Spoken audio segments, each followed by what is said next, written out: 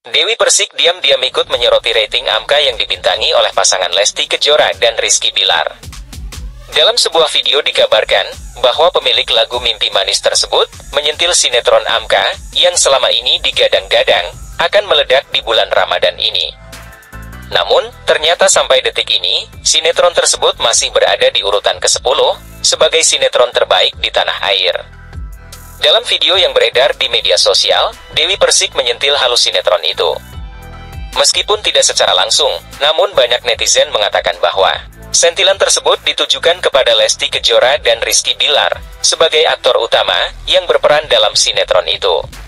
Seperti yang diketahui, sinetron Aku Mencintaimu Karena Allah, Amka, yang dibintangi Lesti Kejora dan Rizky Bilar disorot lagi. Penyebabnya setelah seminggu tayang di RCTI, serial drama Ramadan terbaru MNC Pictures ini belum bisa menunjukkan taringnya. Hal ini dibuktikan dari rating sinetron Amka masih kalah jauh dari sinetron-sinetron unggulan Cinemark yakni Tertawan Hati dan Bidadari Surgamu. Padahal, RCTI telah menjadikan pasangan artis fenomenal Lesti Bilar langsung sebagai pemain sinetronnya. Lesti dan Bilar dikenal sebagai artis yang cukup kuat. Maklum, Penggemarnya kompak selalu mendukung setiap karya kayanya. Bahkan, karya mereka sebelumnya selalu trending.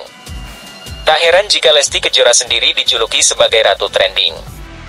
Namun meski sudah seminggu tayang, rating sinetron AMK belum bisa tembus lima besar. Hal ini diketahui dari daftar rating program televisi pada Senin yang dibagikan Instagram Sobat Fit. Tampak dalam daftar 20 program TV pertayangan hari Senin kemarin, sinetron Amka masih bertahan di peringkat 10 besar. Tepatnya pada urutan ke-9 dari 20 program TV terbaik. Sementara, sinetron tertawan hati SCTV berada di urutan kedua. Sedangkan, sinetron Bidadari Surgamu SCTV menduduki urutan pertama. Kemudian, pada urutan ketiga ditempati oleh Entong MNC TV. Urutan keempat diisi oleh tukang ojek preman RCTI. Urutan keenam ada mengetuk pintu hati SCTV. Diketahui, sinetron Amka tayang perdana pada Selasa, 12 Maret 2024. Sudah genap tujuh hari, tepat di hari ini sinetron tersebut tayang untuk menemani pemirsa RCTI. Kondisi ini bikin netizen pun turut menyoroti performa sinetron Amka. Selain dari itu, sebagaimana yang diketahui, bintangi judul sinetron yang sama, terungkap ketakutan Lesti Kejora suaminya terjerat cinta lokasi alias cinlok dengan pemeran wanita. Walau sama-sama dalam satu judul sinetron, Lesti Kejora tak menampik dalam hatinya muncul rasa takut. Rizky Bilar sama-sama membintangi sinetron, Aku Mencintaimu Karena Allah. Rizky Bilar sempat mengucap doa agar kemistri antara dirinya sebagai raja dan Lesti Kejora sebagai arsi bisa sampai ke penonton. Sembari berkelakar, Rizky Bilar berharap bisa cinlok dengan Lesti Kejora seolah-olah keduanya belum memiliki hubungan. Diketahui dalam sinetron tersebut, Rizky Bilar dan Lesti Kejora diceritakan menjadi seorang pasangan. Ya kita mudah-mudahan kemistri Arsi sama Raja semakin baik, bisa cinlok kita ya Arsi sama Raja, ucap Rizky Bilar ke Lesti Kejora sembari tertawa ketika ditemui di kawasan Cibubur Kabupaten Bogor.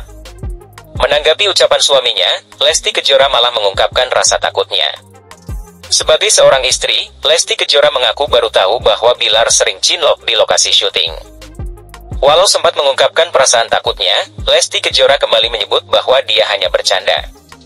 Takut banget, emang kalau syuting suka cinlok ya, kata Lesti Kejora. Nggak apa-apa ini bercanda, lanjutnya sembari tertawa. Di lain sisi, Lesti Kejora juga merasa bersyukur karena bisa dapat kesempatan untuk jalani syuting bersama dengan Rizky Bilar. Meski bukan yang pertama namun ia merasa sangat antusias.